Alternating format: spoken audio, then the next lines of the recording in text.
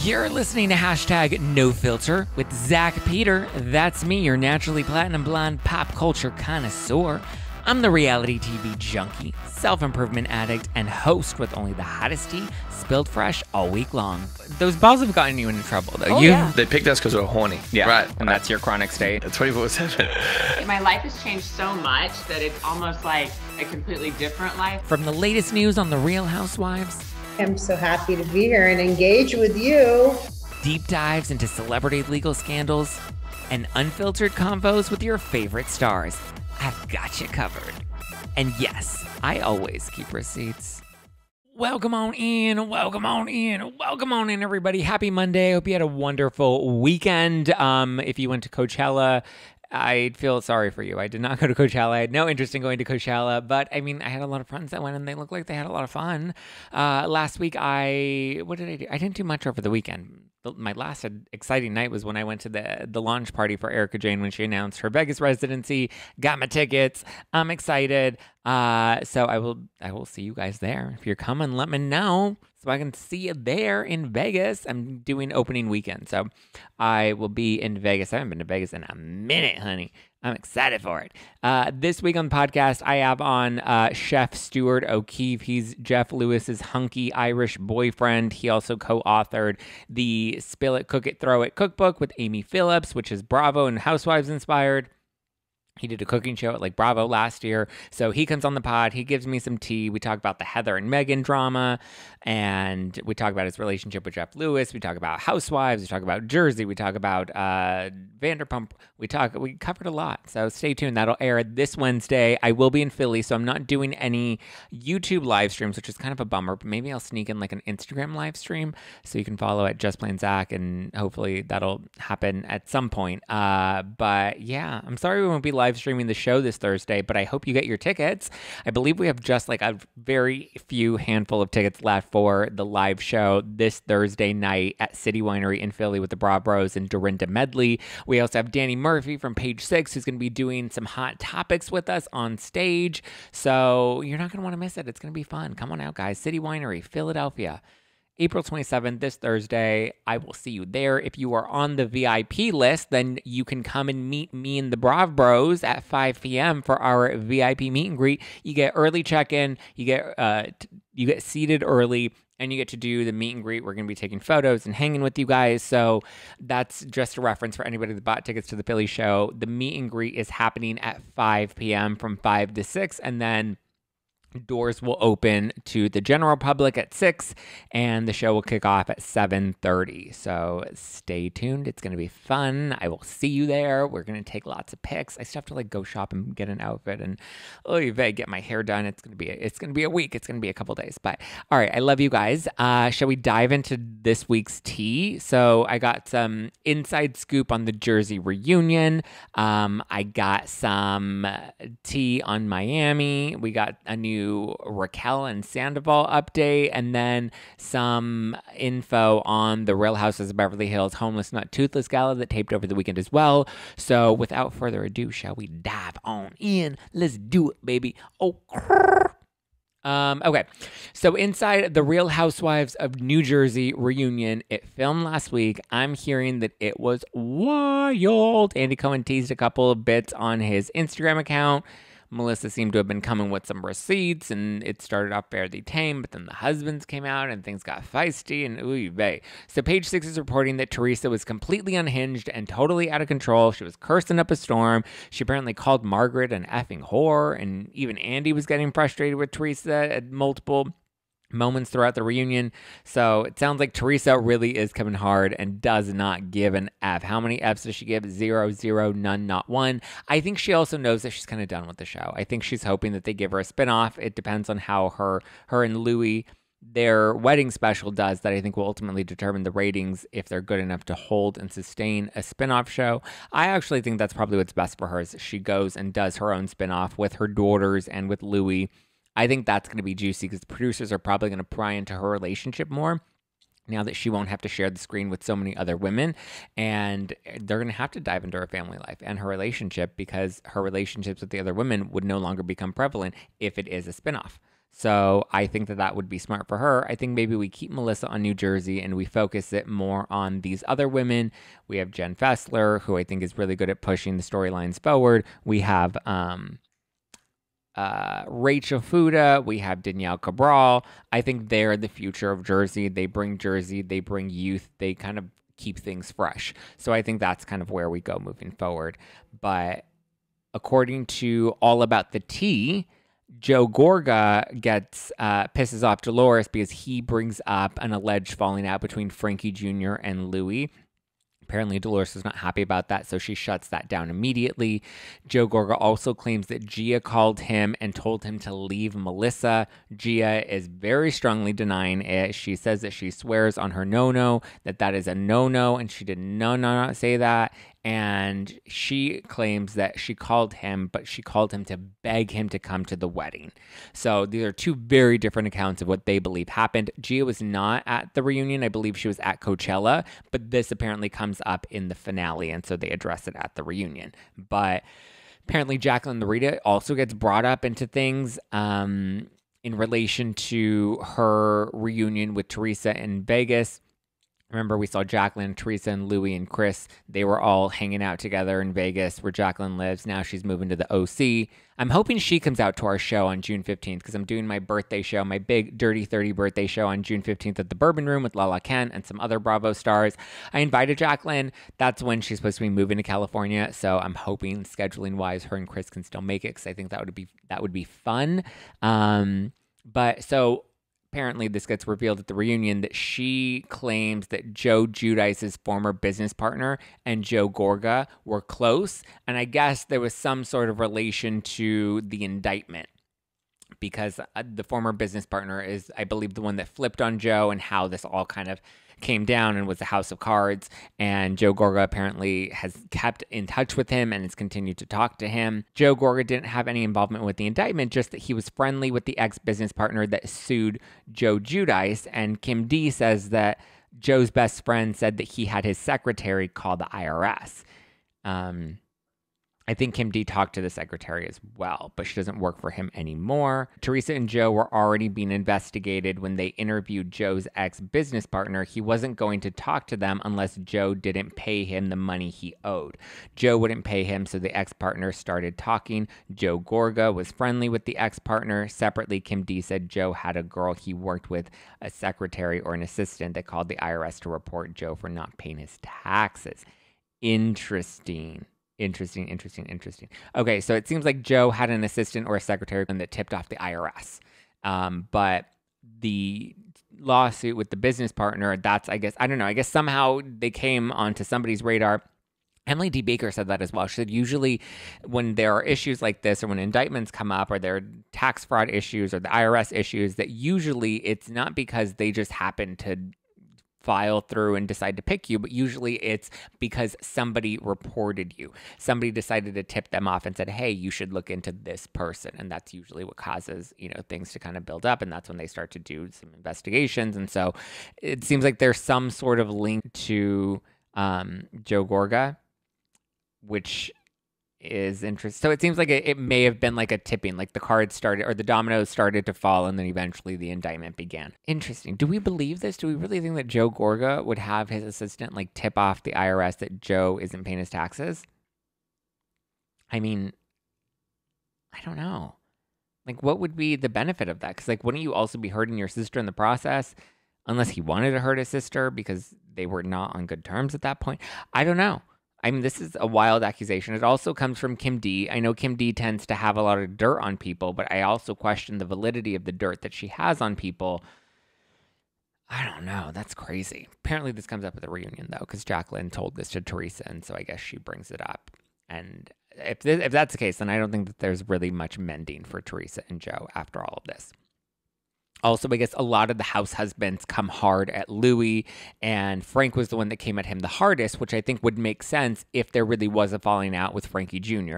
Then it would make sense why Frank uh, Sr. would be upset with Louis and would come at him so hard. But I find it interesting that we're also hearing that Dolores was shutting it down because she didn't want to go there.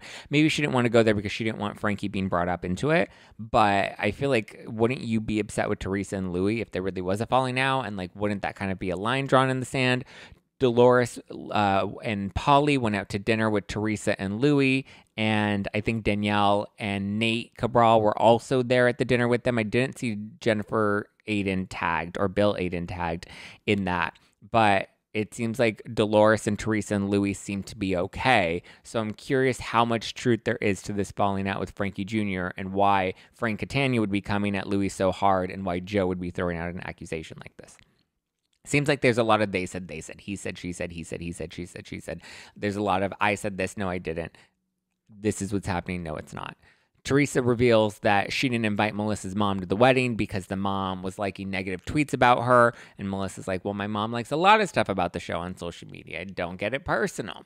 So, which, I mean, listen, I get that maybe Donna and Melissa's mom wasn't the nicest to Teresa, or maybe wasn't the most embracing, and maybe in defense of her daughter, was kind of upset with Teresa on several occasions. I would get that. I think that that's natural. I would hope my mother would get upset if I were put in a situation like that and somebody were being awful towards me and bringing up strippergate rumors. I get that.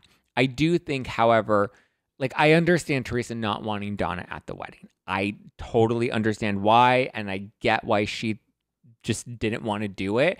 But I also think Teresa's not dumb. And I think Teresa knew that if she did this, it would draw a line in the sand and it was going to upset Melissa and Joe and why she decided to move forward, uh, like not inviting Melissa into the wedding. That was obviously going to be an issue. We foresaw that this was going to be an issue. So you either avoid the issue by having Melissa be in the wedding, whether it's to your liking or not, because at the end of the day, weddings sadly aren't about the actual couple getting married. They're about everybody else involved. And that's just the unfortunate thing about weddings. It's a ceremony, but everybody else makes it about themselves. And so in this case, I think put Melissa in the wedding, put Joe in the wedding, put the kids in the wedding just to make peace, just to make nice. Because that's what Teresa says, right? She always wants to just make peace. She always wants to make it nice. I understand her not wanting to, but I think if she really doesn't want the drama and she really just wants everything to be fine, then don't do stuff like this because this is not going to make things fine. This is not going to make things better. I understand Teresa's reasoning. I want to be very clear. I get where Teresa is coming from. However, I don't get her being so shocked that things shook out the way that they did because of the, her own actions. I think she could have avoided that. I think she knew that Donna not being invited would have been an issue. And I think she should have just invited Donna, whether she wanted her to be there or not. She didn't have to interact with Donna. I mean, think about it. How many times do people have to invite people that they don't want to invite to their wedding and they have to invite them by obligation for some other reason, but it keeps the peace and it keeps there from being drama, right? Hey, Teresa. Oh, yeah, yeah. I can't wait to see the, the, her wedding special to Louis and see how that all unfolds. But there's apparently no talk of the BravoCon feud. Remember at uh, BravoCon, it was, what was it, Friday night? There was some beef between Jennifer Aydin and the Gorgas, and she threw a drink at them, and they called her names, and it was a whole thing. And they got into a fight and Bravo was like pissed about that. Apparently that doesn't come up. That doesn't get addressed at all. The whole reunion sounds wild and it doesn't sound like there was much resolution at all. But I don't know. What do you think? How are you feeling about this reunion? Are you looking forward to it? I know I'm looking forward to it. I feel like it's going to be last reunion was wild and I feel like this one's probably going to be similar. I think we only have what about 4 or 5 episodes left in the season. So, the season's coming to a close. We're coming back from what is it? Coming back from Ireland and we shall see. We will discuss this week's uh, episode of Real Houses in New Jersey with the Brav Bros live on Thursday night in Philly. You can get your tickets at nofilterlive.com, and we're also going to have a very special interview live on stage with Dorinda Medley. The show is not being live streamed, so the only way to catch it is to come to the show in Philly at City Winery, April 27th. That's this Thursday. Get your tickets at nofilterlive.com. Okay, Real Housewives, the Real Housewives of Miami. Miami's on, on, on, on fire. So they started taping the new season. They're taping season six, and just spotted out was Alexia and Adriana.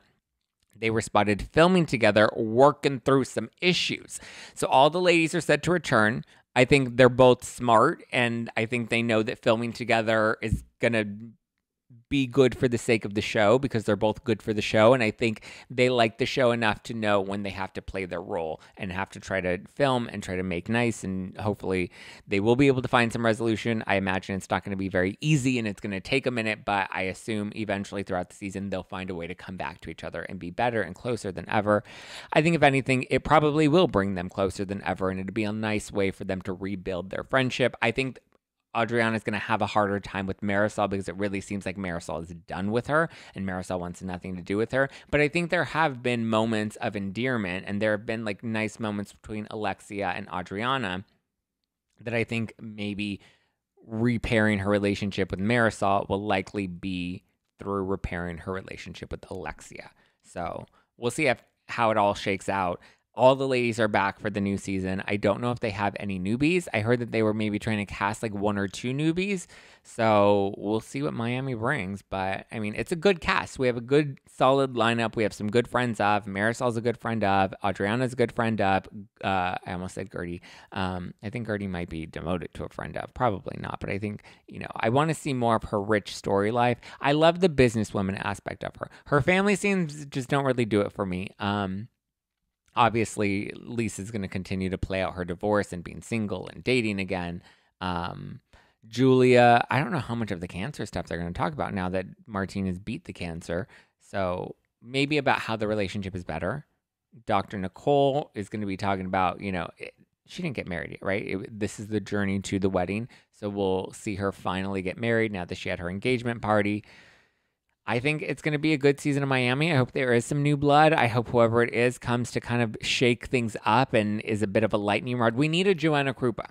That's what we need. Someone that was like Joanna Krupa that comes in and kind of just gives a, a, breath of fresh air into the into Miami the same way we did it with the first three seasons, right? Joanna came in and really kind of shook things up and then it was great. So I'm here for for maybe not Joanna, didn't she just break up or get a divorce or something? Hopefully that gives her an opportunity to move to to move back to Miami, to move back to the states, and ideally Miami, because Joanna Krupa was hot and she was great and she was a perfect housewife, I liked her in Miami. Miami's on, on, on, on fire. Okay, Brittany Cartwright is revealing that she caught Sandoval, Tom Sandoval, at Raquel's apartment. So for their new Peacock Vanderpump Rules uh, after show watch party. I'm not really sure what it's considered, where it's Brittany and Jackson, they're going and watching episodes of Vanderpump Rules and kind of providing commentary on that. Kind of like when Bravo did the People's Couch, or um, there's Pillow Talk on TLC. So Brittany remembers that there was this time when she was supposed to pick up Raquel because they were going to attend this White Fox party with Scheana, and Scheana's like, "Hey, do you mind picking up Raquel?" And then Brittany's like, "Yeah, sure, I'll pick her up. Let me get some. I'll get her some beer cheese." And then she went to go pick up Raquel, and she went to her apartment, and surprisingly, Sandoval was there at her apartment, and he ended up crashing this event with them. And she was like, "That's really weird." She didn't think much of it at the time, but she did kind of think it was kind of strange. Like, why is Sandoval here? Like, with just Raquel, and why is he coming to this event? I didn't even know he was coming to this event. Like, this is very strange. Um, but she didn't think too much of it. But I think a lot of people are doing that now, looking at these like strange moments that they didn't really give much thought to. And then now they're like looking back and be like, oh, the signs were there. All the red flags were there in our face.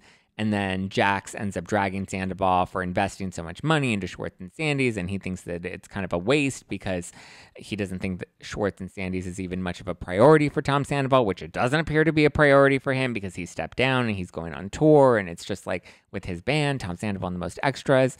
And Jax brings up the fact that like he took out a loan against his house and that his mom ended up dipping into her retirement savings. And I think she gave him what, like $250,000, you know, what Louis lost with the pizza ovens.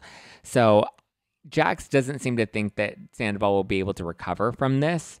Um, I don't even know if I think that Sandoval is going to recover from this because, like, he's not going to make up his money with Tom Sandoval and the most extras. And I don't know how much life he's got left on Vanderpump Rules.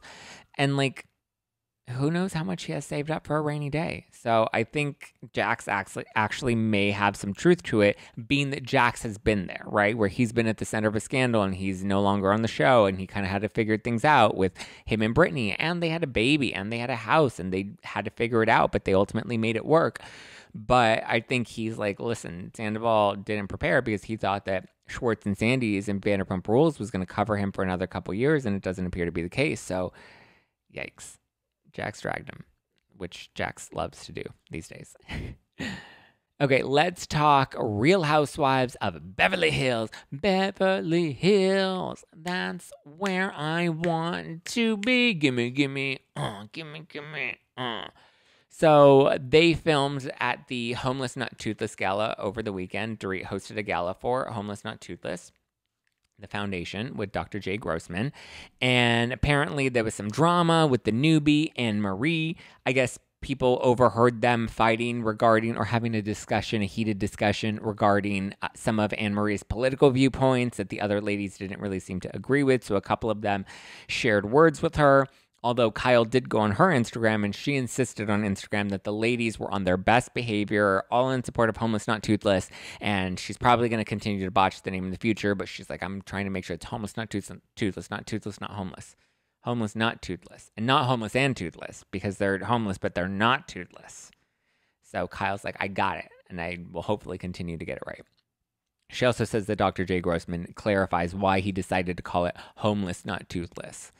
Very curious as to what his his reasoning and rationale is going to be to defend the name. I can't wait to watch that play out. Erika also recently chatted with Evan Real at page six, where she said that Garcelle is the most composed this season because he asked her, he's like, you know, you are the pretty mess. So who do you think is the prettiest and who do you think is the messiest? Oof, what is that? Um, and so she said that she thinks that Garcelle is the prettiest because she's the most composed this season because she always like carries herself very well. And then she says that the messiest though, she there's some mess between Kyle Richards and Sutton Stracke and that they kind of get into a little beef. And then she also claims that Denise Richards tried to get messy with her. But she's like, she tried. She tried to get messy, but it doesn't sound like Denise was very successful. And from what I've heard, Denise got a little sloppy. She got a little litty city, a little too litty city, and got a little sloppy with it. So sounds like maybe she tries to come in it, but maybe isn't able to hold her composure because she gets a little too lit, which we loved when she was there. Remember her confessionals in the um remember she had that like cheetah print top and like that weird like neon pink light in the back and she was like she was just like slouching in her chair filming her at home confessionals because that was the year they had to self tape their confessionals. And she was just like living life. Even that reunion, she was just like, somebody hand me a cheeseburger. Give me a hot dog. Give me a Dodger dog. Give me a Polish dog from Costco, please, so I can put my jeans back on. Denise is so not glam. Like she's just not. And you kind of got to respect it and you kind of got to love her for it, but she's just like she's just Denise. You would think like Denise Richards would be glam and Lux and Hollywood and she's just she's really not. She really isn't. But I'm excited. I got my tickets to go see Erika Jayne. Bet it all on Blonde, the Vegas residency live. I'm coming to Las Vegas opening weekend. I cannot wait. We booked a table and I it's going to be fun. I'm going to have a blast. I can't wait to pat the puss, baby. Oh, okay and you guys can come and see me live in Philly this Thursday at City Winery with Dorinda Medley and the Brav Bros. We've also got Danny Murphy that's going to be, he's from page six. He's going to be doing some hot topics with us on stage. We're going to be doing some hot takes, so stay tuned for that. This Thursday, April 27th at City Winery in Philly. I believe we've got a couple, a very few handful of tickets left. Um, that you can grab at nofilterlive.com, or you can come out to my very special 30th birthday show with Lala Kent at the Bourbon Room in Hollywood. It's going to be a blast. We've got so many other Bravo Lebs and stars that'll be in attendance as well. So you're not going to want to miss it. June 15th at the Bourbon Room in Hollywood, or April 27th in Philly with Dorinda Medley maybe another show being announced soon. So stay tuned. But I mean, if you want to meet Dorinda or you want to meet Lala, those are the only shows you're going to get to meet them at. So hopefully you get to you get a chance to come on out and make it. Get your tickets at nofilterlive.com. That's nofilterlive.com.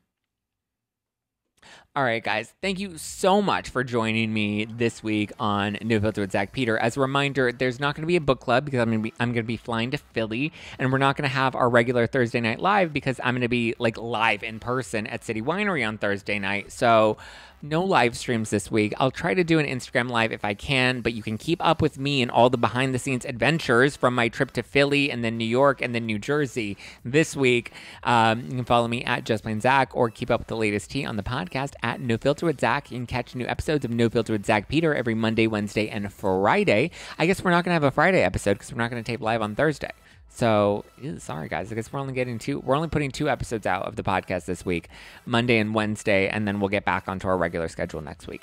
But I love you guys. I appreciate you guys. I hope I get to see you in Philly at City Winery this Thursday. And yeah, big announcements coming. Next month is also going to be a big month just before our show at the Bourbon Room June 15th with Lala Kent. It's going to be good. To be a lot of fun. All right, guys, I love you. I appreciate you. Sky is also now on Instagram too. If you want to follow him, you can follow at Just Plain Sky, S K Y, Just Plain Sky. All right, I love you guys. I appreciate you. I will see you. I will see you all around and about on the East Coast this week. Love you and bye.